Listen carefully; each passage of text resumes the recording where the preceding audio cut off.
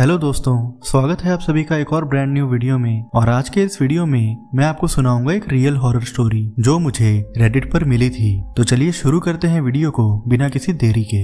ये घटना कुछ साल पहले की है, जब एक रोज मैं जंगल में घूम रहा था। जिस जगह पर मैं घूम रहा था, वो रास्ता बिल्कुल ही कच्चा था। और कुछ देर घूमते घूमते मुझे एक अलग सी गंध का एहसास हुआ। ये देखने के लिए कि ये गंध कहाँ से आ रही है, मैं थोड़ा आगे की तरफ़ बढ़ा और झाड़ियों के पार जाकर देखा तो देखा कि वहाँ पर एक डेड बॉडी पड़ी हुई थी, जो कि किसी आदमी की थी। उस आदमी की बॉडी को देखकर ऐसा लग रहा था जैसे वो काफ़ी समय से यहाँ पर पड़ी हुई है, जिसकी वजह से वो बॉडी काफ़ी खराब हो गई थी और उसमें काफ़ी सूजन भी आई हुई थी।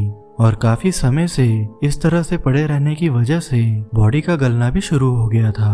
ये सब देखते ही मैंने पुलिस को फ़ोन किया। तो पुलिस वालों ने मुझे बॉडी के पास ही इंतज़ार करने को कहा। घना जंगल होने के कारण पुलिस को यहाँ आने में काफ़ी टाइम लग गया और तब तक अंधेरा भी हो चुका था। पुलिस ने इन्वेस्टिगेशन की तो पता चला कि उस आदमी ने आत्महत्या कर ली थी और ये पूरी घटना काफ़ी ज़्यादा भयानक थी। लेकिन इसके बाद जो मेरे साथ हुआ, वो और भी ज़्यादा डराने वाला था। वो आदमी मुझे सपनों में दिखाई देने लगा।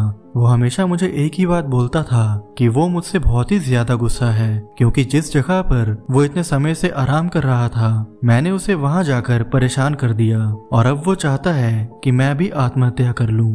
हो सकता है कि ये सारी बातें सिर्फ़ मेरा वहम हो, लेकिन ये सारी चीज़ें बहुत ही ज़्यादा डिस्टर्बिंग है। वो इंसान आज भी मुझे सपनों में दिखता रहता है, और इसमें कोई शक की बात नहीं है कि ये स्टोरी लिखने के बाद आज रात को भी वो मुझे ज़रूर दिखाई देगा।